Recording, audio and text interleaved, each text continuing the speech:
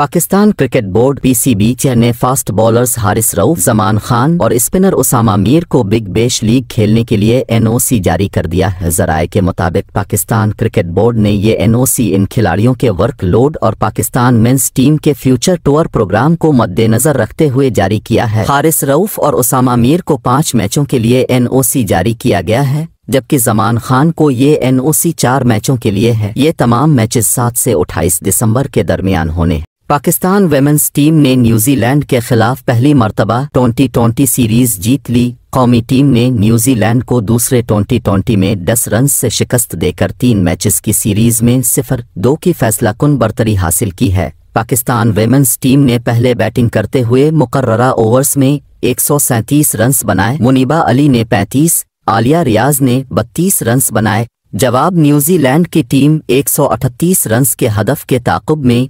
127 run पर ढेर हो गई। पाकिस्तान की जानिब से फातमा सना ने तीन, सदिया इकबाल ने दो विकटें हासिल की। कैनबरा में पाकिस्तान और प्राइम मिनिस्टर 11 के दरमियान चार रोज़ा मैच के पहले दिन के अख्ताम पर शाहीनों ने छह विकेटों के नुकसान पर 324 रन बना लिए। शान मसूद ने टॉस जीतकर पहले बैटिंग का फैसला किया। अब्दुल्ला शफीक 38 और बाबर आज़म 40 रन बना के आउट हुए। कौमी कप्तान शान मसूद एक रन के साथ विकेट पर मौजूद हैं। ऑस्ट्रेलिया की जानब से जॉर्डन बकिंगम ने तीन खिलाड़ियों को आउट किया।